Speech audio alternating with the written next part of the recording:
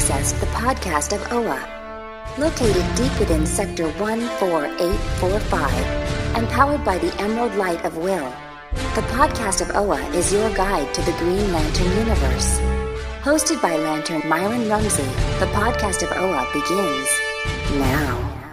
Welcome back, everybody, to episode number 148 of the podcast of OA. I'm Myron Rumsey and joined by our good buddy, Phil Bova. Phil, my friend, how is life? Life is great, man. Life is great. School's school's going well. Kids are uh, actually behaving this year for a change, which is odd. but uh, things are going great, man. St. Louis is going well, and uh, looking forward to the fall. That's great. Yeah, the weather here is starting to change. Um, I live in the Finger Lakes in New York, and it just gets really beautiful as the leaves start to change because we've got a lot of rolling hills, and and it's just it gets to be gorgeous, and we're just on the cusp of that now. So I'm really looking forward to that. Yeah, yeah, so are we. I'm I, am i am just done with the heat. I think we got a few more days of 90s down here, and then it and then it finally hopefully falls off. But we'll see. So, so this episode, we're going to set our Wayback Machine to 1959, and we're going to go back and talk about Showcase 22, 23, and 24. All right, I'm looking forward to it. Kicking it real old school. Yeah, yeah, you can't go much further back than that and stick with the Green Lantern Corps mythology. Otherwise, you're back in the Golden Age. Uh, so this is gonna be really exciting. You know, I'm I'm looking forward to it. You know, it's funny to think we've done 147 episodes and this book these books really haven't been discussed you know on and off um, and one of the things that, that I, I want to point people to is uh, I think some of the best writing I've done in the blog of OA was during the 75th anniversary of Green Lantern, and I did a whole series of articles um, age by age. I started with the sil- the Gold Age, then I went to the Silver Age, then the Bronze Age, and I did two articles for each era. And I did one kind of the history of the the franchise, and then one highlighting little mini biographies of the people that were really kind of the most influential during that era. So I'm gonna I'm gonna link to those, but the articles on the Silver Age are really relevant for our conversation this evening. And uh, if you go back and read those, you'll you'll hear some of the things we're going to talk about in this episode, but maybe in a little bit greater detail. So yeah, I'll put those in the show notes for people. But yeah, I'm really jazzed to talk about all this stuff because this is this is the beginning. This is the foundation and and the core of the new mythology. And not only that, it really really uh, the, the cool thing about Hal Jordan is he really reflects he really really reflects the time of American history. You know, back during those Cold War days and uh, and and the development of technologies and and you know and then you got your space race on top of it. You know, and it's just it's this culmination of a lot of cool scientific stuff that was that was culminating out of out of our country during that time and it's really kind of reflected in these pages. Yeah, if you go back and think about 1959, you know, Russia was leading the space race. They'd already put a couple of monkeys up in space. The Cold War was really on. It's it's right in the cusp of JFK uh, being in his way to becoming the president. You know, this is kind of the, the the years leading up to that, and and just to kind of set the tone for this, if you think about how far technology has gone, back in 1959, domestic pa- jet passenger service had just started so flying was really uh, a, a, glamorous thing back then, and to be part of uh, the test pilot era, you know, this is the this is really the Chuck Yeager part. We haven't really entered the space race ourselves yet, so this is pre Mercury astronaut era. And you know, and you're coming off you know two significant wars you know and, and being a pilot was an, an, an, admirable position you know and that's what really reflects hal jordan's character and his dad's for that matter yeah, yeah, it was it was really a, a, very glamorous thing, and and to look at it from the the comic perspective, Julie Schwartz was. Uh, a lot of people talk about Stan Lee being the godfather of comics, and and that may be true to some extent, but you wouldn't have Stan Lee if it wasn't for Julie Schwartz.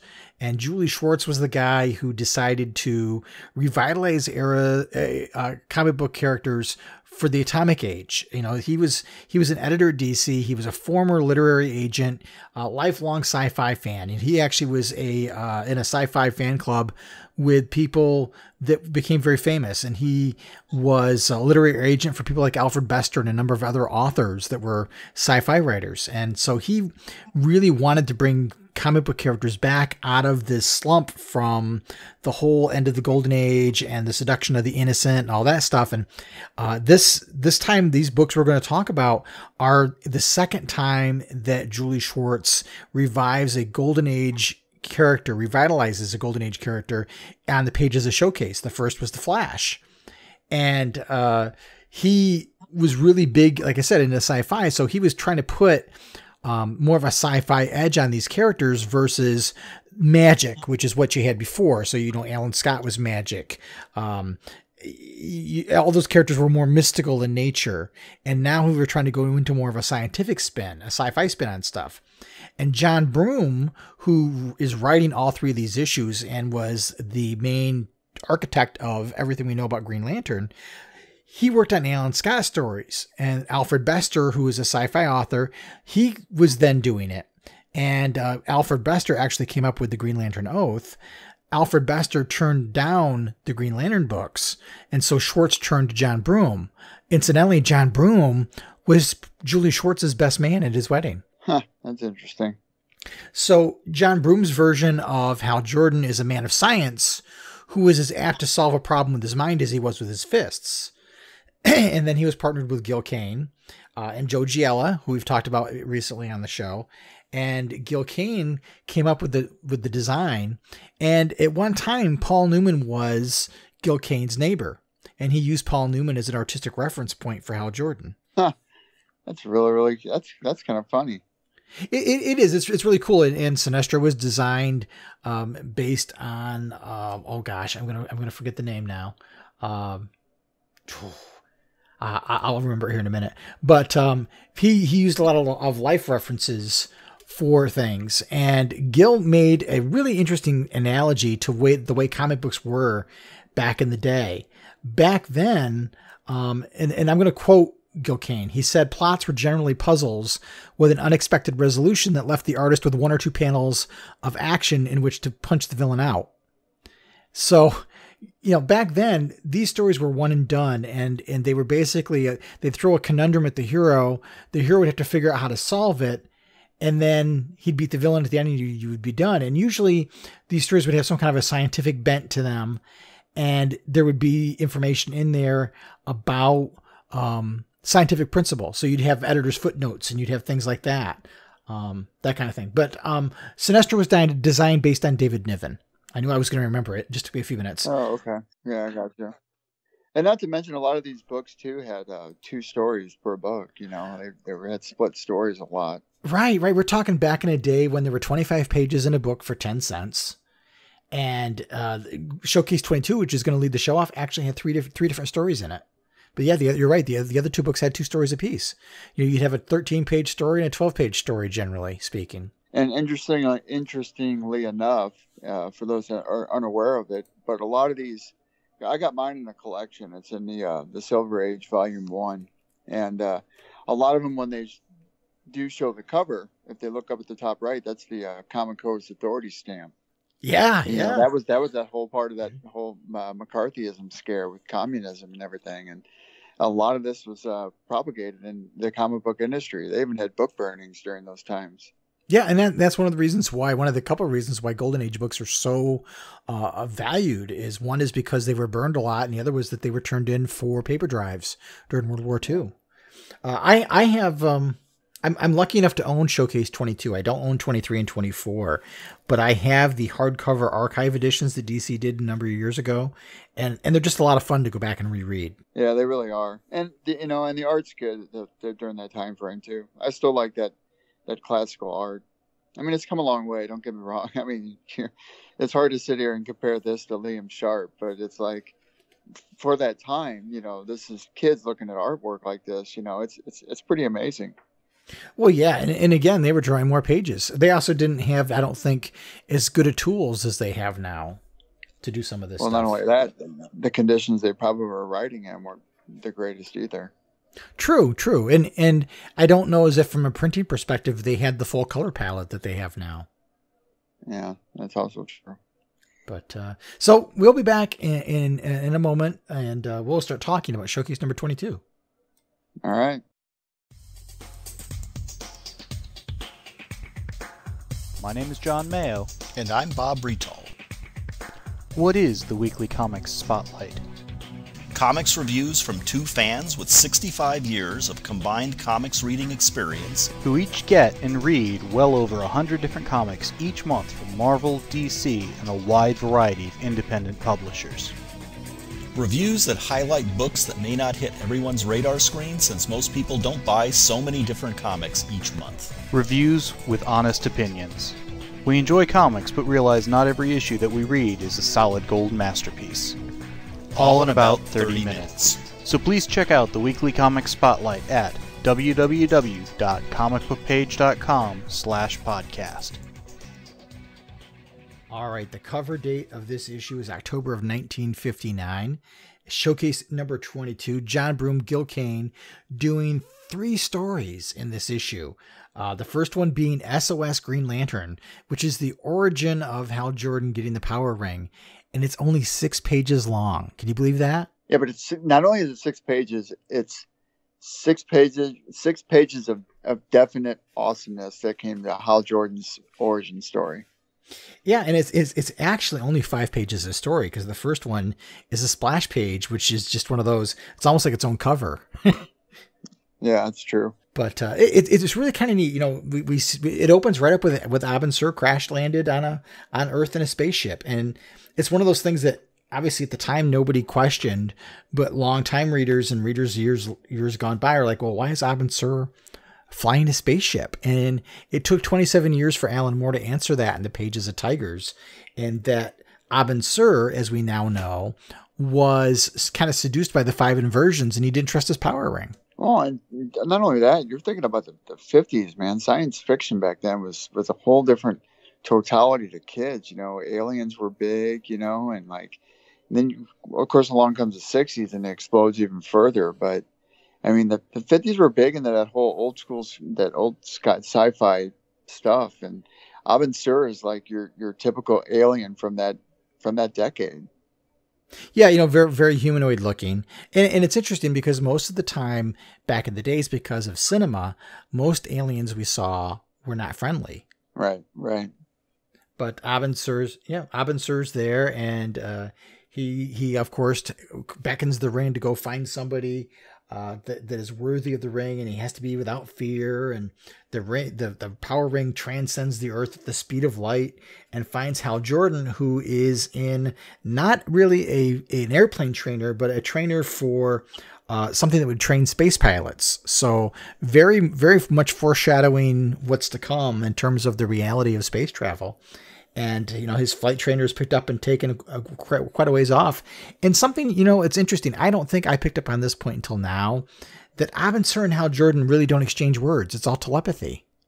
Yeah, I just now I was just now uh, when I was reading that panel there briefly, I noticed that about the telepathy thing, and I was like, oh, that's new. Yeah, yeah. I, I, you know, it's funny. I don't know how many times I've read this issue, this issue, and uh, never, never dawned on me they weren't actually even talking. Huh, that's interesting. Yeah, that is kind of cool. But you know, Abin Sur does kind of all the exposition. He's outlining the 24-hour charge. He's outlining the yellow weakness, but he doesn't tell how how the ring works, how to use it, what it's capable of. Uh, he basically just says, you know, it's a huge responsibility to to kind of patrol space and you know and and right wrongs and and so on. And, and something I think that that is really important is that uh, Abin Sur talks about, you know, there being two tests. It wasn't just that you had to be without fear, but you had to be honest. which, which I think we all both know that um, when it comes to any Green Lantern, there's there's not a maybe a fraction of honesty amongst them at all. I mean, the Guardians being the worst of it. it. It's interesting, but you know, it, it's one of those things that goes back to Hal had to be not only furious, but he had to be worthy of the ring. Right. Which is another word for honesty, right? Right, right. You, you, you had to be worthy of it. It, it. it it wasn't something that would just anybody could pick up and use. You had, you had to be worthy of it in order to get it, um, which which I think is important. Um, and he gives a little bit of background. He again he talks about the impurity and all that stuff, and uh, and then uh, Hal gets the ring, he gets the, the battery, he he immediately lifts a cliff into the air and does some things with the ring, and then you know he does something kind of creepy. Uh, you know, the Abin Sur's outfit is not made of energy, not like the way it is in the comics now. It's actually a cloth costume. So, so after Abin Sur dies, Hal takes the clothing off the dead body and puts it on. Like, ew, you know. it is kind of, it is kind of unflattering. yeah, it's it's it's it's a little macabre. Good old Hal, man. And and and Abin Sur never refers to it as Green Lantern. Hal names himself Green Lantern in this. Yeah, okay. And actually, Abin Sur knew who it was before he even came into the module. He come in Hal Jordan. Yeah, yeah. So it's it's interesting. You know, it, it's like there's a lot of little shortcuts. It's it's almost you know nowadays we talk a lot about decompressed storytelling. This is compressed storytelling. it really is because they don't even get he doesn't even get to the oath by the end of the first this first little one, does he? No, no, and that that's something I was going to point out is when he recites the oath. Who told him the oath? Because he never heard it from Abin Sur. It's never mentioned here. Yeah, I was going to say maybe the battery told him. yeah, yeah, it's it's some things are kind of left up in the air like that, uh, and then it jumps to the next story. You know that that was five pages, six pages, and we're jumped in into Hal's next adventure, and it's the secret of the flaming spear and we get the introduction of Carol Ferris. And, and the relationship between Hal and Carol reminds me a lot of like, you know, from the Rock Hudson Doris Day movies. Oh yeah, that's a good that's a good comparison. Yeah. And I love the way I love her I love her hair and I love how she's drawn back then. She reminds me of Lois Lane that was drawn. I liked how Lois Lane was portrayed back then too. Well, and, and I think, you know, the dynamic between Hal and Carol is very much like the dynamic between Clark and, and, and Lois. Yeah, I would agree with that and and here it's interesting that that uh, you know Hal walks right in and he's right in her space. I mean, uh, yeah, I think in this day and age he might not be able to get away with that unless they had a really good relationship. But we don't know what the relationship really is. Uh, clearly, they have more than just friendship going on. But you can tell from Carol right here that she really uh, isn't uh, one of these people that likes to mix, biz- mix business with pleasure. I mean, Hal kind of comes up behind her and she goes, Really, Mr. Jordan, it seems to me you should attend to your own affairs on your own time. Uh, that's, that's, some strong female words right there. Right, right. Well, she she's a very strong female. Again, think about this being 1959. And you talk about female empower- empowerment. By the time this story is over, in these nine pages, Carl Ferris turns the company over to Carol while he goes away on a two-year trip overseas. I know, it, it, and that I talked about that a lot in uh, some of my uh, post World War II uh, feminist movement, and about uh, how a lot of these uh, females that were portrayed in comics were in fact empowered by, like Lois Lane's one of them. I mean, you know, being a journalist at a high esteemed uh, publishing company, you know, was was was a really, really, really strong position, especially with how she was written too. Absolutely. Now, you know, one of the things that's interesting here is um, Hal was supposed to fly the flaming spear, but but couldn't because he he didn't show up on time. But the person that they give the flaming spear to is a guy by the name of Frank Nichols. Frank now, Nichols, yeah. Frank Nichols becomes Frank Laminski. Oh, okay. See, I didn't know that. Yep. When when Geoff Johns redid Secret Origin, he redoes this whole flaming spear thing and it's Frank Laminski, who we now also know becomes the Phantom Lantern in the Green Lanterns story. Oh, interesting. There you go. Look at you drawing that comparison. so the same the same plane is used when Geoff did Secret Origin, if, you know, back in Green Lantern number 30. And so it, it, becomes Frank Laminski, but here it's Frank Nichols and Hal, Hal as Green Lantern rescues him. You know, he does recite the oath. I think what's interesting about these old stories is uh, every time before Hal's about to go do something, he charges his ring. I know. It's super cool. I, the only unfortunate, I love that panel, you know, and I'm really, really, a, I mean, I'm a huge fan of the panel because that's the first time the oath is said but it always gets me the way his right arm is kind of just looks kind of long, you know. yeah, yeah, you, you kind of wonder if they were kind of quick to to do things, but uh, Hal Hal rescues the the the flaming spear, and we're trying to figure out what happened. And there's a radiation beam of some sort that was bringing the ship down, and Hal tries to trace it back uh, to to a projector, and Hal transports himself through a wall without breaking it, and uh, explodes some bullets takes him down. It's it's neat. There's a line where where uh, he flies in, and the guys there are three of them, and one of them says, "What if that ain't a bird? It ain't a plane, and it sure ain't Superman," which I thought was cute. That is cool. Whoever he is, he's not paying us a friendly visit. Shoot him down. See, that's just the, the, that's just a classic one line from this era of comic books. I mean, seriously, I don't even think I've ever seen that line in any modern comic book this day. no, no. And, and then you know one of the, one of the things that that these early stories fall into the trap of is we know that the ring has a yellow weakness. So everything Hal seems to encounter is yellow. So a guy yeah. goes to throw a desk lamp. And it's an all yellow desk lamp. Like who owns an all yellow desk lamp? he he throws that at him, and then they get away in a car because Hal gets hit by the lamp because he couldn't stop it. They get away in the car, and the car is also all yellow. all yellow. Yeah, yeah. It's like who owns the the a yellow car and a yellow yellow uh, yellow lamp? But to stop the car, he punctures the tires, which is great. And then he drags them out with, with his his green uh, look like they look like what is that? Electricity. Look like electricity beams or something. Yeah, they have the beams look very electrical. it, it, and then it, it's cute stuff. and then they and then they meet up with Carl, Carl Ferris. Yep, and it's funny, you know, here they call him Willard. Oh yeah, I didn't even pick up on that. Yep, right after right after uh, Carl uh, talks about how he's leaving, he and it's you know there's some backhanded compliments to to Carol when he talks about you know, I always wanted a son, and and she's has done things as good as any boy could, kind of kind of thing. And I'm like, boy, you know, it's interesting. Well, said, I've always wanted to travel around the world before I get too old to enjoy myself. Miss Ferris and I will be gone two years. Hmm. Yeah, yeah. She's going for two years, and then and then on a dime, Hal turns, and she's like, that, "That's it. You know, our relationship is going to be strictly business nothing more than that. You know, I, I I've promised my father I'm not going to have any romantic entanglements. but don't. But but you can you can always count on old suave Hal. No yeah. mixing business with pleasure.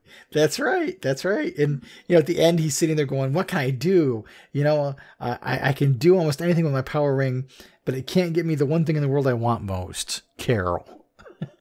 foreshadowing the fact that he still doesn't ever have her. Yeah, yeah. Well, and then and then we get to the next story, which is uh, the menace to the runaway missile, which is what's on the cover of the issue, and that's the, of course, a yellow missile. um, but you know, it's it's funny. The issue starts out. Hal's in the locker room, and he puts on a suit to go and talk to Carol, which I think is is know, again that fifties that fifties notion. But he walks up behind her, puts his arms around her, and says, "Hi, honey." I'm thinking, boy, you know. I know that's a full on grope too. but again, back in the day, that they had a relationship, and and he, I'm not trying to make excuses for him, but he's a little handsy, to be quite honest. Um, well, I mean, like you said, I mean, back in that, a lot of people like criticize the way comics were written and stuff like that. And it's like, you know, I mean, you're you're basically criticizing society and what it was projected around. you know, I mean, right. which you, you can't really. It's it's easy to do, but you can't really do it willy nilly. I mean, you got to do it for the right reasons and understand. Well, no, I don't agree with it, but again, this was a time frame that of, of which women and men coexisted, and unfortunately, there was a lot of you know sketchy things that were done over the course of time and what we consider today unsavory yeah, it is true, and you, and you can't judge uh, the events of the past through a modern lens. Certainly today, in today's date, you couldn't do that. And you know, when you see the retelling in Secret Origin, you certainly don't see that kind of behavior. But exactly back, back here, it was just it was commonplace. Uh, you know, how is that that guy that was the debonair person and they had a relationship and it wasn't uncommon for that. But I mean, you see that one page where he's he's basically got his hands on the filing cabinet with with Carol trapped. it pretty much does. And I'm like, boy, that's you know, again, as a kid reading it back in the day, you wouldn't have thought anything of it. But looking at it from today's perspective, boy, that's that's really pushing the line. it's it really crossing is, the line. Man. It really is, and it's like you, you're looking at it in this nuanced approach, and you're like, yeah, that's definitely a no no. there's no way, there's no way that would ever exist and and then Hal falls into the Clark Kent trap, where uh, you know Green Lantern is becoming a, a bit of a, a, man about town, and he's been invited to this ball, so Carol goes there in hopes of um, running into Green Lantern, which so much for the the no romantic entanglement clause in her contract. But uh, again, Hal charges his ring before he goes to the party, and they're kissing, and he sees this yellow missile flying by, and takes off rather abruptly, leaves Carol right there in in in partial kiss. I mean, their lips were locked. and he goes off, and he can't, of course, stop the yellow missile right away. But Fortunately, the guy with the yellow missile, whoever did the yellow missile, left the tip red. So he was able to catch it in a power ring net. Again, the construct being very, um, very electric looking.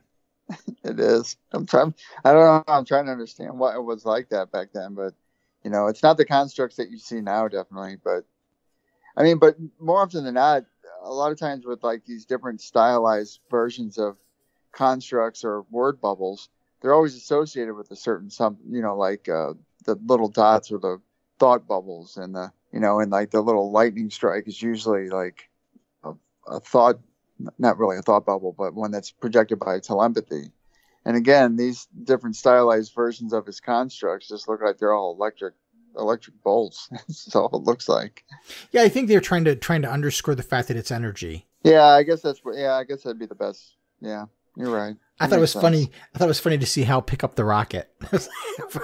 it's it's not only yeah. yellow, but it's lightweight. and then I love walks the, over and sets it down. I love the army guy. The army guy sharing like information that he shouldn't be sharing with a civilian to Green Lantern. He's telling him, yeah, you know, it's a missile and radiation thing. We got we got people you know, all over the place looking for these things, watching out in the skies, and you know, it, it, could be something like that. We have aircraft spotters everywhere. Here, let me show you their secret locations. it's just ordinary explosive, but it's not nuclear, so don't worry about it too much. there's there's one panel that has that really bugs me, and that's with uh, you can see Hal's eyes because they didn't draw yeah. the yellow white over. That stuff always bugs me. And I was reading this and like, oh, they the first issue they did it. I mean, it looks like it looks like the shadow in that one. Yeah, you're right. You're right. But you, you know, you gotta love the Gil Kane artwork. I mean, it's clean. It, yeah, sure, by today's standards, it's simplistic, but he has a way of, of capturing um, action, which I think is very different for its era. Yeah, yeah, I would I would say that. I mean, I, I like the artwork. I like the simplistic natures of this art artwork back in that time. I mean, sometimes don't get me wrong. I mean, this is no knock against any artist, but a lot of times the artwork gets so complex it, it often takes away from the, the narrative you're trying to you're trying to really really focus on and like you and i have mentioned before we usually read sometimes an issue one or two or three times especially with the new lantern ones because of the complexity of them and they're dense both in narrative and in artwork yeah these are these are obviously much simpler but yeah you see a lot of blank backgrounds yeah but it, it's just you know, like you look at some of these buildings, they're literally boxes that are colored and they're flat and smooth and right. They got no definition to them. It's like, oh, that's just some shack. Ooh, there's a house. so he catches the guy, but to me, the the great point of this issue, this this story within the issue, is he Green Lantern goes back to talk to Carol, and Carol is ticked because because he left in mid kiss and he's like, "You're not objecting to that. The way you kissed me, I could tell." And he goes, "Well, you may have. I, it's the way you kissed me that I'm referring to. If you had lost yourself in that kiss, the way you did, the way I did, your eyes would have been closed, and you wouldn't even have seen that missile." so she's mad because he wasn't as engaged in the kiss as she was. good good day, Mr. Green Lantern. I'm busy. So like not only can he not catch a break as Hal Jordan, but now he can't catch a break as Green Lantern because he didn't because he did his job. it is, man. He burned her twice. Now he's really screwed. He's gonna have to really earn some brownie points. But then again, you know, it's it's it's their nature. I mean, how many times have we seen Carol get pissed off at Hal over the course of decades of reading about them too? Yeah. I mean, know? she she slams the door on him. I know she really does. She's not having it. Should have been your first sign, pal. Yeah, you might as well get used to it. God. But uh, what what fun though! Three three stories in one issue is is pretty impressive. Now, yeah, you had 25 pages, but you know, the other thing I noticed that's really different between these stories and the stories we read today is each one of these stories that the plot with the villain stays contained within the story but there are little elements like the relationship between hal and carol that's the one thing that carries over from issue to issue Yeah, yeah, you're right. Yeah, I know what you mean. They, they, they, uh, and a lot of times you'll see that more so in the in the current comic books. They'll have multiple, multiple story progressions going on simultaneously, and these back here were like the, the first beginnings of multiple storylines that carry over from issue, issue to issue. But like you said, the relationship one is is just one example of that narrative. yeah that that's the one piece of ongoing narrative that you seem to see whereas the the villains and everything else it's almost like they're it's almost like they're incidental Well, that and they become supporting characters, you know, and they're they're guaranteed to show up. I mean, much like Lois Lane in, in the Superman books. Yeah, yeah, and you know, it's interesting is is in all three of these stories, there really isn't a villain of any note. Like, there's no super villain, air quote, in in any of these stories. Yeah, I, I would venture to guess that a lot of a lot of your your your villain stuff starts coming coming after this era, more like in the '60s. You know, they spin out of the Cold War.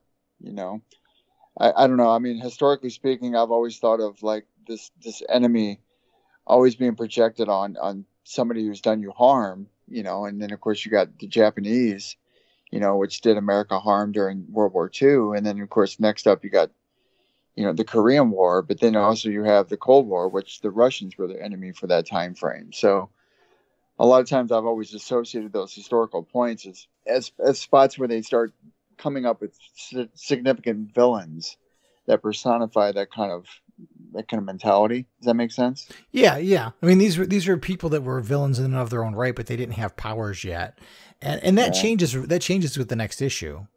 But uh, you know, for for the, for an origin issue, to get three stories and uh, three interesting, you know, a lot of action packed stories in there. I can imagine as a kid back then being, you know, I want to find out more about this character. Well, and like you said, it's just it's just cool to read three different stories, you know, and because you get more bang for your buck, especially as a kid. And now you can't even get more bang for your buck when an adult. Right. Well, you know, again, it goes to today. A lot of these stories, a lot of the books we have now, the stories are five or six issues long. Um, so you don't get a complete story in an issue. Right. Also true. Or it's like Doomsday Clock. It's like should have been over by now. they forgot to wind it. Anyway, yes, these these are cool. I like these a lot better than Doomsday Clock. That's for sure. So um, rather than stopping, let's keep going. So why don't you start talking about Showcase 23? All right, so Showcase 23. We're going to go uh, the, the next uh, in December, December 1959. And of course, uh, Gil Kane, Julie Schwartz is the executive ed- editor. And so we start off Green Lantern, next issue. He's fighting a yellow pterodactyl. I mean, this all brings back what you said about okay, we're just going to throw yellow in for every kind of weakness that he has. So the first uh, first story is called Summons from Space. So uh, Green Lantern, he's been making many many public appearances. Uh, we go to the next page and shows that he's talking to some business tycoons. And then, do you know who this this uh, golden haired woman is? Uh, no, um, I, I think she's just a uh, a starlet or some debutante that uh, that latches on onto onto Green Lantern. You know, he's becoming the man about town, and uh, I think he's kind of I think he's kind of trolling Carol a little bit here because he's making headlines, being with all these different women. Yeah, she. I mean, she expresses her discontent in the next over there on page um, my page thirty six. I don't know what your page is, but yeah, she she she definitely is not very happy about it at all. and, and I think it's funny because she's like, you know, it's it's it's just it's in the last seven days he's been reported with seven different beautiful girls, and Hal's sitting there with her at, at the lunch table. At the I must be in the cafeteria at Ferris Air or something, and uh, on a coffee break, and he says, "Well, why should that strike you as scandalous unless you were jealous?" he's really, you know, like, hey, you know, I'm going to cheat her. Uh, I think it's well, funny. and then, and then and then of course she has to cite that employees shouldn't date. You know, yeah, so yeah, right, right. I'm gonna, I'm gonna I'm gonna throw you on the bus even further. well, and then and then Hal makes the slip up. He he again falls into the trap. He says, uh, "Well, what did you expect after the way you treated Green Lantern, refusing even to speak to him on the phone. And she's like, well, how do you know that? And he was like, uh, well, we've become friends. what a what a spot Carol is putting me in. Poor Hal. And then there's the little thought balloon Carol's got that says, "The two men I find most two men I find most attractive in the world have now become friends." But maybe I was a bit hasty toward Green Lantern. I wonder. For someone who's who's sworn off any romantic relationship, she's spent an awful lot of energy. you know, do you remember those? Uh, you, I know you're going to remember these. Uh, those old uh, radio serials where they had Superman and all them on there. And oh yeah, yeah, yeah yeah, so it's like I'm gonna run up this, I'm gonna run up these stairs, and then you know you hear the stairs going, and you're like, I'm gonna jump out this door. You know, it's like a lot of a lot of these comic books remind me of those and how those were read on on the air throughout on the radio waves. You know, a lot of because a lot of times how they how they pronunciate or how they explain themselves or they explain certain certain things in the thought bubble. You know, it always harkens back to those old radio serials.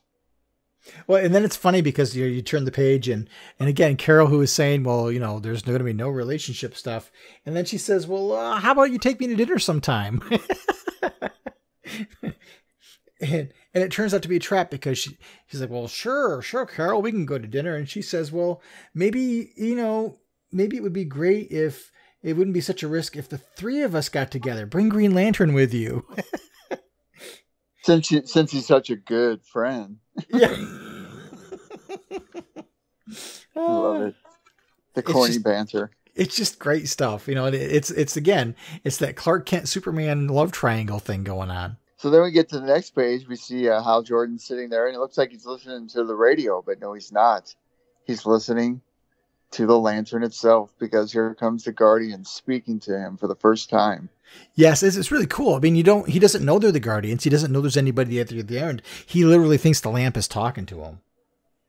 to the possessor of the lamp of the power lamp in sector 2814 an emergency has been arisen on the world called venus in the solar system in which you live you are the only lamp possessor who can reach there in time you must hurry that's got to be jarring to just be sitting there minding your own business you know trying to pine after your boss and she won't have you, and you're and you're feeling this really really terrible because you can't have the girl you want. But no, you're just going to be told to get to go fly out to Venus to fight some yellow pterodactyl. so he has to. He takes off his clothes and he's got his uniform on underneath. Um, and once of again, course. charges his ring. and uh, and which, by off. the way, which by the way, I have to say they use they, they utilize it a lot more in these older books, and I don't think they I don't think they use it enough anymore. You're right. You're right. You know, I haven't heard. I mean, you only hear it every once in a while. That last issue was cool, the way they had the, the different variations of it, but um, yeah, you don't hear them very say it very often. So he's propelled by the invincible power ring. The green, green the green gladiator zooms off the Earth. So this is the first time he enters space, if I'm not mistaken, right? That's correct. At least on panel. He looks kind of chill about it. yeah, yeah, yeah. Well, and, and and he doesn't realize that the ring will create oxygen for him, so he wills the ring to provide oxygen to capture some enough oxygen to get him to Venus. so he gets to Venus, which I don't. I, mean, I had to. I'd have to brush up on my on my uh, planetary history, but isn't Venus isn't a gassy planet then, right? Uh, not in the DC universe. Apparently, it's capable of supporting life. And they're, they're... hey, man.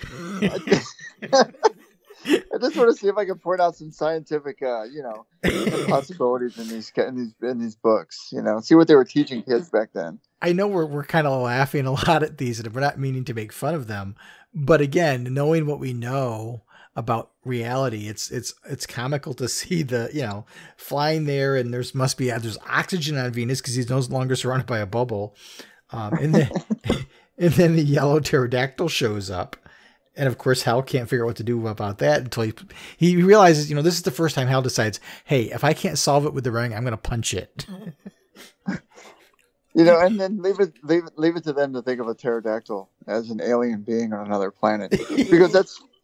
I mean, if you think about it, back in that time, you know, it's pretty much believable because dinosaur, you know, and the, the, the kids right. are going to draw the conclusion with the dinosaur. But you know, of all alien planets that go to Venus, they throw us the pterodactyl. Well, and of they course, it's a good villain. if you're if you're gonna have a yellow pterodactyl, you gotta have blue blue cavemen on the planet. I mean, it only makes sense. We need Saint Walker. Where's Saint Walker? Where's Right. Saint Walker at when we need him? And and the ring doesn't uh, the ring doesn't automatically translate. So Hal wills it to translate for him. And that's the first time he learns how to know that it's a translator. Yeah, and and you know he's he's le- been left to his own devices. Um, so you know he's doing a good job of figuring out how to do stuff. But I just I love the fact that they're cavemen that are blue. I know they really are. They kind of like like low rent He Man. and and it's funny because this is the first time we see, um, you know, when when the ring is translating, we get the little electrical effect again. But this time, when he creates the giant green falcon to chain to chase away the yellow pterodactyls, the beam that comes out is smooth. So Gil Kane must have gotten tired of drawing zigzaggy lines. Or again, it, it could serve the purpose that it's supposed to be smooth because of the flight of the eagle that he that he's projecting. It could be, and, and again, we, we get a little bit of of technical scientific jargon about all this stuff, and that uh, you know Hal says, well, birds are traditionally afraid of their fierce their fiercest members in the hawks, so maybe I can secure them away by doing by making a giant hawk. Not a bad, not a bad plan to be honest with you. No, no, I think it's you know again Hal Hal thinking his way through thinking his way out of a box. He he traps them uh, to to basically um, suffocate to death, um, but he leaves them trapped and, and saves the blue skinned uh, Venusians and then flies back. And So what do you uh, think of the? What do you think of that one little panel where it's showing him with it's showing the thought bubble in his eyes, looking to the looks I like was to looking his right. looking to the right, yeah, um, yeah. It, it I, I I think just oh boy, um, That's a tough one. It is, it is, but it is, it is what it is. And uh, he talks about one day the Venusians are going to be a great civilization. Um, yeah, we'll see. Now here's the, I guess here, here's would be a, a, good note. Have they been used since then? nope. I think they forgot about them. Dang, poor Hal. Hey, have you noticed though in these these uh, these issues with Hal flying, how his legs are always like they're always like apart. yeah, you're right. I, they, maybe they wanted to make him look a little different from Superman. I mean, earlier in the issue when he's got the girl in his arm around the girl flying, his legs are together. Um, Yeah, this this issue looked like they were all apart. That's R- write your own joke there. Um, yeah, here he's he's you know maybe he's trying to catch the air right. I don't know, but he gets back. He gets back, and of course the issue ends with him and Carol again, and and basically Hal dodges the bullet by saying that Hal couldn't be there, um, and so she's dancing with Green Lantern. And you know, of course, as she gets ready for bed that evening, she's brushing her hair. She's pining about Green Lantern again. And you know, sooner or later she's going to have to choose between Hal Jordan and Green Lantern, but which will it be? I can't begin to make up my mind. And uh, Hal realizes that Carol's fallen in love with Green Lantern, so he's again stuck in this love triangle. Poor guy. And you know, it's funny. It's still it's still kind of ironic because he still hasn't gotten the girl. after the after this long, that poor dude still hasn't gotten Carol Ferris. Poor Hal. what do you think about this issue so far? This issue's good. It, it's it's good. It, it again, it's Silver Age fun. Um, there's there's certainly the silliness, and you and I you and I have been having a lot of fun at, at the expense of some of this stuff. But again, it's still great stuff. So we'll move on to the next, the third story in this issue, which is the Invisible Destroyer. This ought to be interesting. So, Hal once again visiting Carol's office because he's always walking in. You ever notice he never never knocks? No, he just barges into the boss's office. Uh, he's showing an ad in the newspaper asking for Green Lantern's help. Well, that's kind of interesting. Urgent. Even gives you the even gives you the times to, uh, where to go to. Yeah. You know, in, in this day and age, if you publish something like that in the newspaper, you probably have a couple hundred people show up with their cell phones trying to figure out what's going on, you know? I mean, it's comical, but you know, I mean, back then it would have been, you know, I guess it would have been different. So here we go, citing the oath once again, man. Here's here's Big. I get to hear the oath again. Well, and, and then when he, you know, he, before he does that, she's trying to find out from Hal what he thinks about the, uh, the ad. And I was like, well, if that's all you wanted to see about Carol, goodbye. And he leaves. So now she's ticked off that Hal le- left and gave her the cold shoulder. If if that doesn't beat all. it's like I thought you wanted me, Hal. Yeah, she even says that. Usually he begs for a chance to talk to me. But yeah, then he, he goes off to recite the oath, and away he goes. in his in the privacy of his dressing room. I guess he kept that's right. He kept his lamp in his locker on on the uh on Ed Ferris aircraft, didn't he? Yeah, apparently he had his own dressing room, according to this. I didn't know that. Yeah, I, well, you know, back then it was a glamorous occupation. These guys, these jet jocks, they they got treated right. So he flies off, and then on the rooftops he comes up against some the Phantom Thief. I guess is that what this this villain's called? The Phantom Thief. He's the invisible destroyer. Ah, oh, labeled. I'm sorry, labeled the Invisible Destroyer. Interesting. well, at least he's not made of all yellow. No, but he's invisible. and his power and Hal's power ring doesn't work on him either. Oh, that's true. I wonder what Ever will how do. Okay, so again, I'm on page 50 here. We're going to go to the eye thing at the bottom left, where he's looking to the left, talking to that uh, de- that uh, detective. Yeah, yeah. See, I wonder what it is though. Now you got me paying attention to it all the time. I'm ruining everybody's fan experience, I tell you. Well, I mean, and even if they do take notice of it, at least it'll be something that you know a lot of the fans that are listening to this, at least they'll be like, "Oh, you know, I remember when they mentioned that. That was kind of funny." And they might even draw their own conclusions about it because it is a different take on that kind of look. I mean, it just it looks creepy, you know. well, and what's interesting with the with the invisible destroyer is he just kind of disappears for no reason. but they got photos of him. Yeah, yeah. Uh, Hal Hal does finally get to go to the the house to answer the public notice, and of course, these two story points coincide because the guy thinks he's the invisible destroyer. This is the old man, right? The guy who holds Yeah, the yep. ring. hmm So he shows up at the, at the at the guy's house and talks to him, and he was sketching, and he was draw- he ended up drawing pictures of the invisible the invisible destroyer before he'd actually been seen. Uh, so he thinks he's responsible for him. So Hal does something really interesting. He uses his power ring to um, make Dr. Phillips concentrate on the formula he's writing to see what happens. So he's almost doing mind control. Yeah, that's never really been one of his fortes either. Yeah, it's interesting, but as it turns out, the Invincible Destroyer is kind of like an atomic age Jekyll and Hyde. That he's kind of the the id of of the scientist, of Doctor Phillips. And it's and it's really cool how they spun it like the atomic their atomic age equivalent. You know. And, and eventually, the uh, the Invisible Destroyer gets out of Doctor Phillips' brain and goes off on his own. Yeah, he really looks like he's lobotomized him in that one panel. He's got Yeah. it beamed right directly at his right, right at his forehead. Yeah, definitely So far, I've only so far I've only broken into places where atomic radiation exists, like that cyclotron, and the reason is simple: I feed on radi- radiation. So I guess this is some kind of essence thing. I, I guess it would be. Yeah, and you'll find a lot of a lot of the creatures and things that happen in these early stories. Radiation is a common theme. It's like radiation is re- responsible for things well beyond what radiation can actually do. But it, but you know, it's a common thing for science fiction back in the day because radiation was one of those unknowns, and people were afraid about radiation.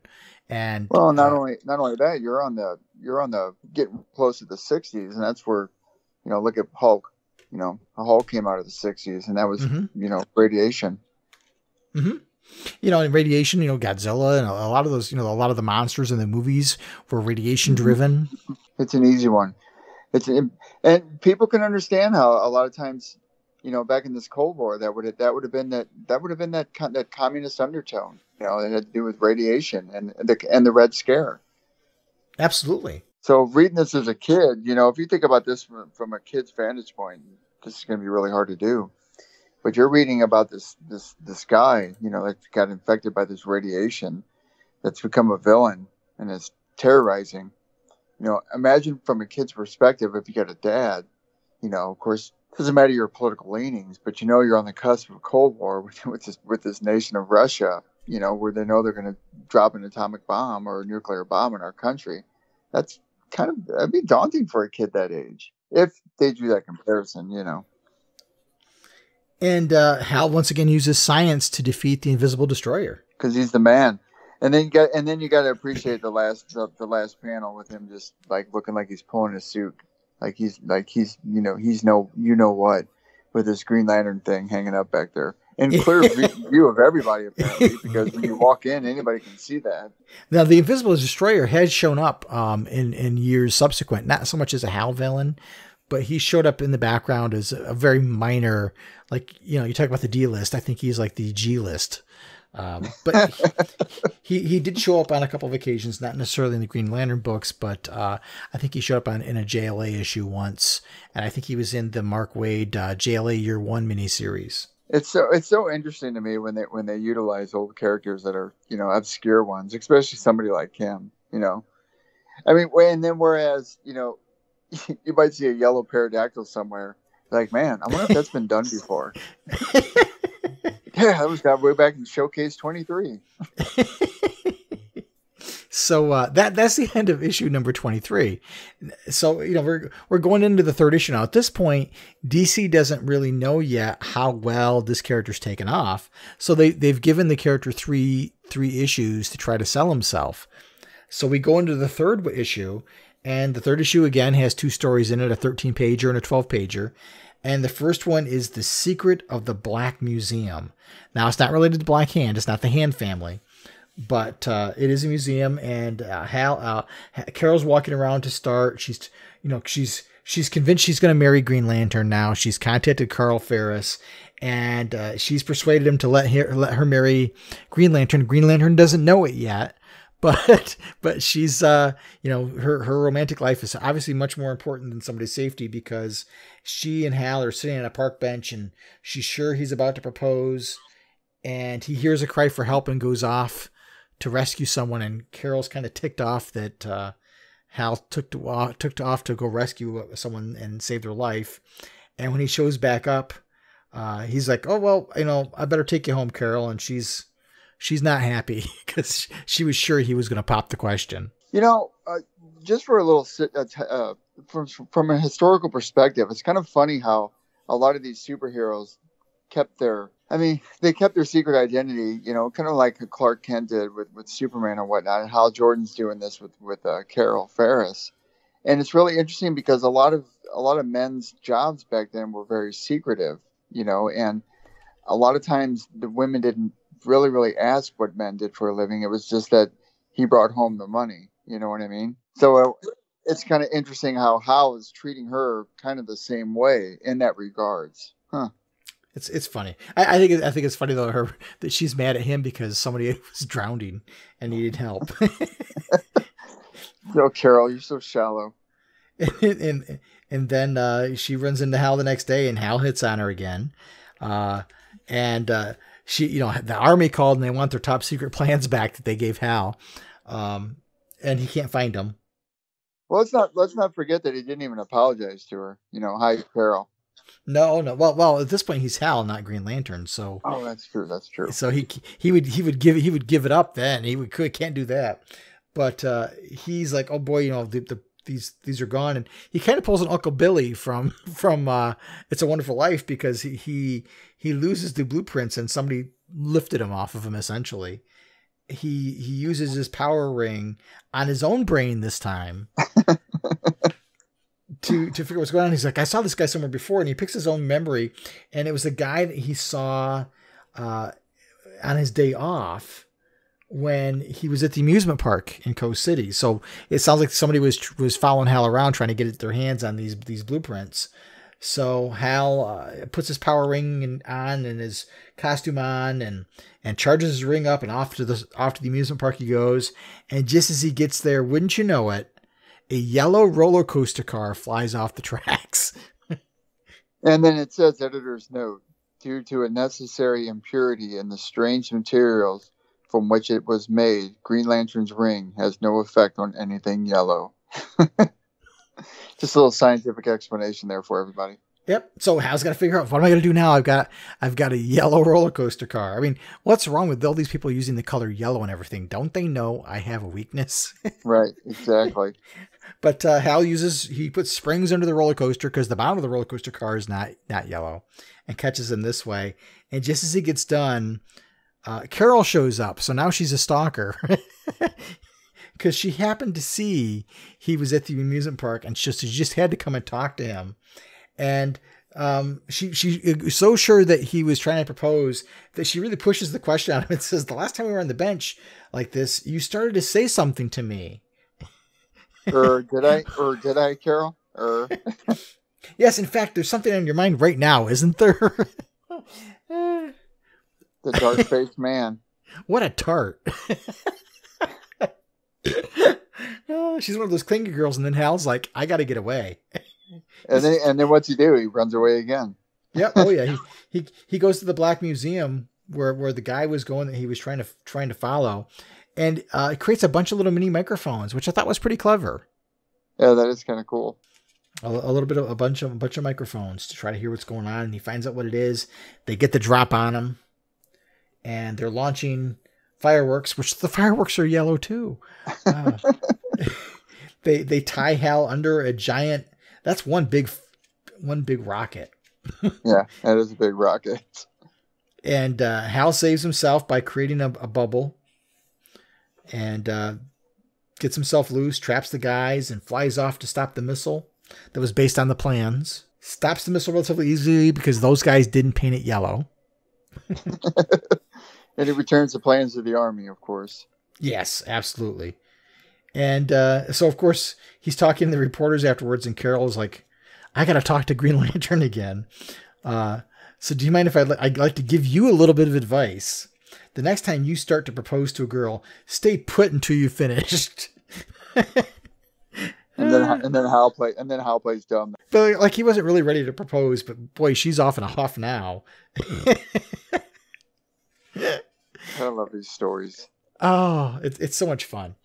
I mean, back then obviously it was very serious, but now it's just it's it's fun. You can read this stuff and with with a different set of eyes. That's for sure.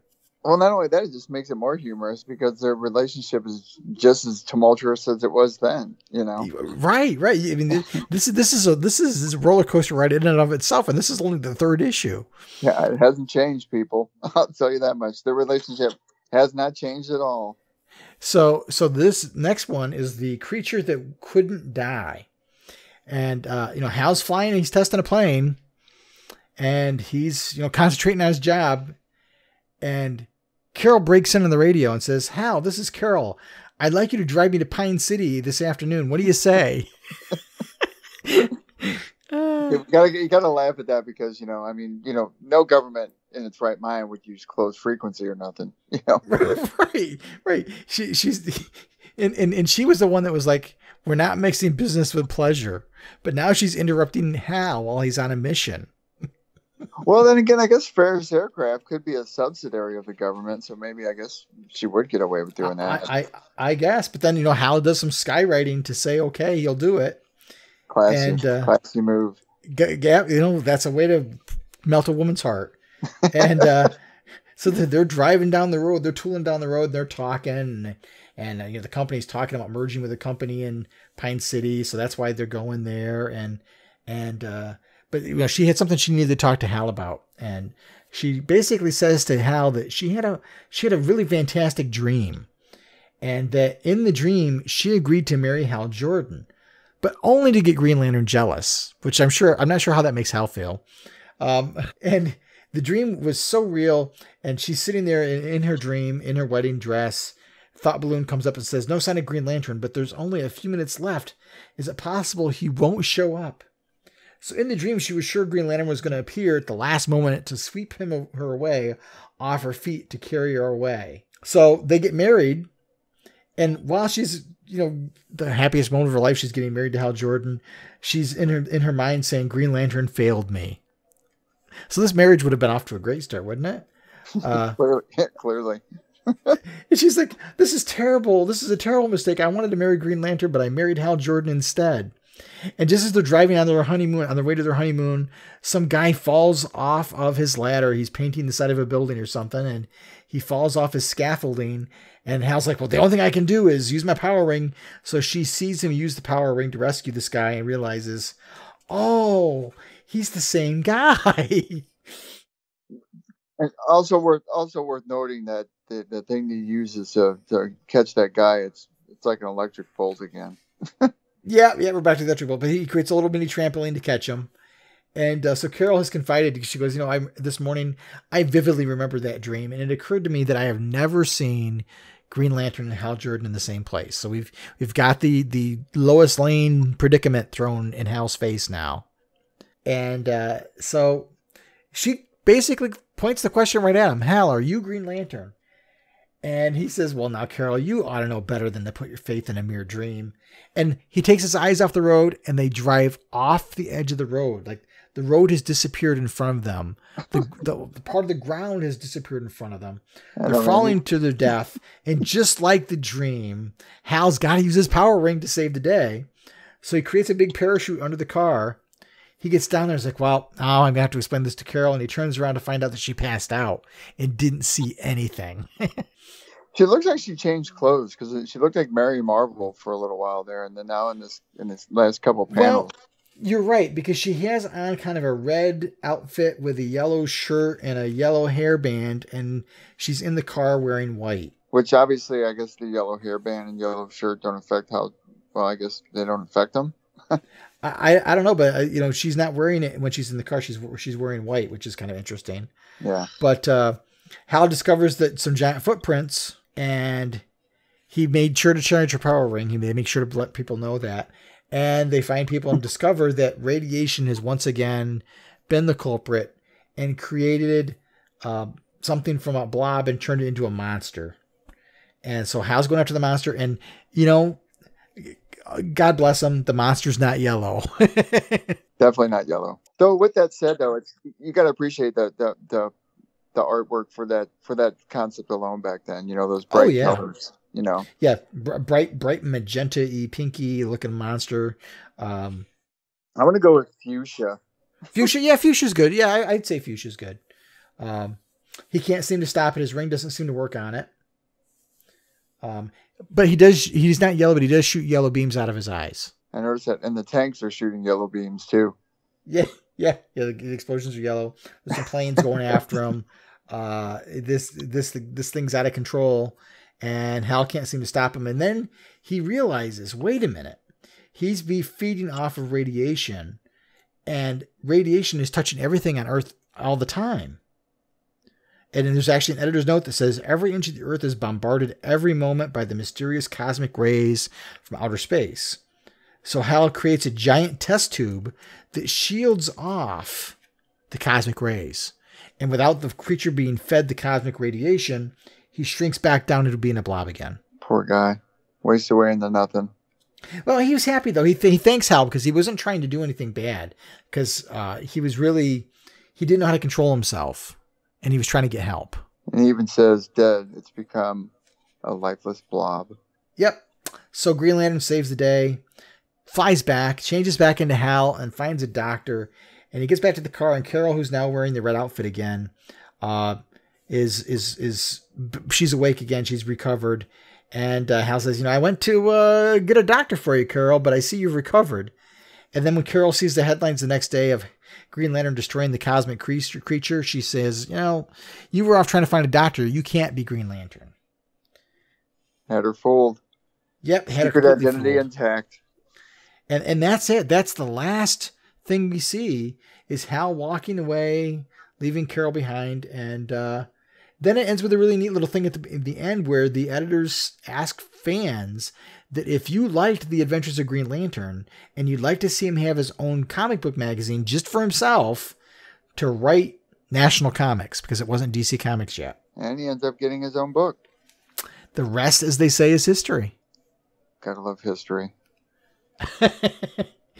What what a fun three issue debut though. It really is, you know, and I, I wish I could take myself back because I remember my first comic book. Actually, the first comic book I read was uh, was GI Joe. I think it was GI Joe issue number one that Marvel put out back in the early '80s. And then, of course, I started getting involved in Superman and, and, and Green Lantern and other stuff after that. But back then, as a kid, when I remember reading uh, GI Joe, I was like, "Oh, this is really cool! Explosions, you know." you know the military's fighting this is really honorable and all that kind of stuff and then you had your cool characters and stuff but i guess reflectively if i were to come across this as a first impact kind of comic book you know i would kind of see it for the bright colors alone you know and how it's action packed you know, and has and, and even though the stories don't weren't necessarily complex back then, because you notice a lot of stories these days are, are pretty complex in their narrative. You know, they they go issues deep where these don't have that ability. They're they're they're self contained, like you said. Well, and it's interesting to look at these issues and these stories, and they really very much fit what Gil Kane was saying. In uh, he wrote the introduction to this archive edition, and that's where I kind of got that quote from. You can see where the John Broome creates a puzzle for Hal. You know, it's it's a it's a creature that's being fed by cosmic radiation, so it's a puzzle, and Hal has to figure the puzzle out and solve the puzzle, and and then wrap the issue up in, in, in the the one ongoing narrative through this entire set of three issues is the relationship between Hal and Carol. Yeah, you're right. That's the only one that's really, really touched upon continuously. And it's interesting, you know, the, those stories back then, one and done stories, but there are there's a plot thread that plot thread that carries from story to story, but not the driving piece. Well, and it's nice to read it to, for from a kid's perspective, knowing that the two main characters are Hal and Carol. You know, those are your two primary, your your two protagonists at the time. So, you know, you're like those are always your go-to characters, and and, and equally because I I think they wrote them both pretty equal when it comes to how they feel about each other in these first three issues. Yeah, yeah, and, and and when you get to the actual first issue, then you get the introduction of the Guardians, and you get a flashback of Hal's origin. Um, because for some people that didn't read Showcase Twenty Two, they don't may not know Hal's origin, so they do a good job of retelling that right off the bat. But you get the Guardians right from the get go. And like you said, the rest, as they say, is Green Lantern history. Absolutely, uh, fun issues. Uh, you know, uh, uh one of our listeners uh, Brian Dupont suggested we review those books, and I, and I was surprised looking back over it that we had never done it before. Um, neither you, you and myself together, or or Bill and I. Neither one of us, neither one of those combos, we, we've done any in depth uh, discussion about the origins and the first stories. And and they're and they're always good to touch back on the, the earliest editions like this. I mean, if if not just so much for the the Green Lantern stuff itself, but just the historical content that's prevalent in them you know, and that's one of the things that I've always looked at when I read a lot of the old classical stuff from the Golden Age and the Silver Age or whatnot, is they're, they're often written around the reflective times that they've been produced in, and you can see it a lot in in the backgrounds, uh, in certain words and how they talk to one another. Um, just different little bits and pieces you pick up on that history has its stamp on these books, and they were written for reasons. No, yeah, no different these days. And, and, and they're all written from a place of pure adventure and escapism. Yeah, they really were, and they, and a lot of these guys like like Gil Kane and and and, and Julie Schwartz and and you know Stan Lee for that matter were, were just interested in telling really really good stories, you know, and they were really really interested in, in giving good stuff to the kids because they were into this kind of this science sci I guess I would call it a sci-fi revolution because you know, in the 50s that it produced that, you know, science was a big, big thing back then. And uh, kids reading this is just like candy for them. Absolutely. And, and, and this is what, you know, these stories, as silly as they may be and as much fun as we've had at their expense, if it wasn't for these stories, superhero comics uh, as we know them probably wouldn't exist. I mean, it was Flash was successful. He was the first one right out of the gate. And you know they basically revived the superhero genre and it was this and creating the justice league and that infamous conversation on a golf course that led to Stan Lee writing the fantastic four and being able to take uh-huh. a gamble over at timely comics which became marvel comics uh, those things all stem from these stories well and not only that stan lee was the first one to write a spider-man book without the the uh Comic Code Authority stamp of approval on it and mm-hmm. publish it under under the, under its banner. And you know, but I mean, a lot of people uh, rail and complain about reboots and, and relaunches and everything. And, and what they don't understand is like, for comic books, for me, for them to exist and for them to keep evolving, they have to they have to do that because it's been done for years, you know, and and it has to be done because I think that's just part of what what what writing comic books entails, because sometimes you get so convoluted and as so many years goes by, you need you, you need to do a relaunch or a reinvention of the product line to get people back on board. And and, and sometimes it works and sometimes it doesn't. You know, but comic books have went through a lot of history and they almost didn't make it out of the uh, out of the McCarthy era. Uh, you know, they almost didn't make it out of this era. And they almost didn't make it on a number of occasions, mm-hmm. and the fans kept them alive. And and one of the things that's different between then and now is, uh, you know, back then there was probably a close to a good ten year gap where there wasn't a Flash and Green Lantern because those books yeah. had gone away. So you yeah. didn't have like you would today if you suddenly pulled the plug and started over again. You get a lot of backlash. Back then, uh, comics were really a kids medium. You didn't, you know, adults didn't read a lot of comics. So when those characters went away and they were recreated, a lot of fans, a lot of those kids didn't know there was a Green Lantern and a Flash before to begin with. Well, not only that, you didn't, you couldn't take the social media to air out your garbage, you know, and well, why aren't they writing this about this character? Why, why isn't this character being used? I, I do it myself, you know.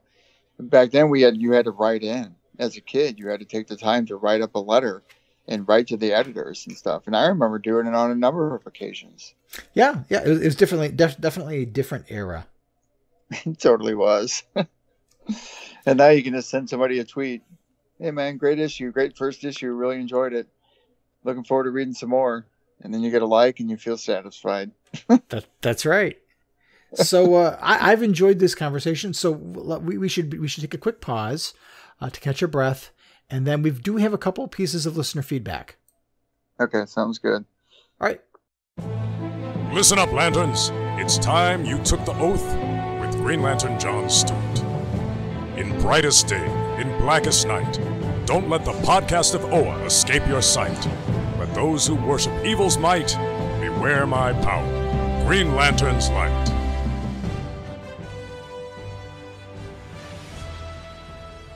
All right, everybody, welcome back. Got a couple of listener responses. Uh, going to read the first one for you guys here. This one's from Daniel, and he's responding to episode 146. Daniel says, quote, Thanks for including my comment. You guys rock, and congratulations on 10 years. Here's to many more. Well, you will have to jump in on here because you've been here since the very, very beginning. Since you're the you're the producer of this, uh, the maker of this amazing journey that we go on all the time.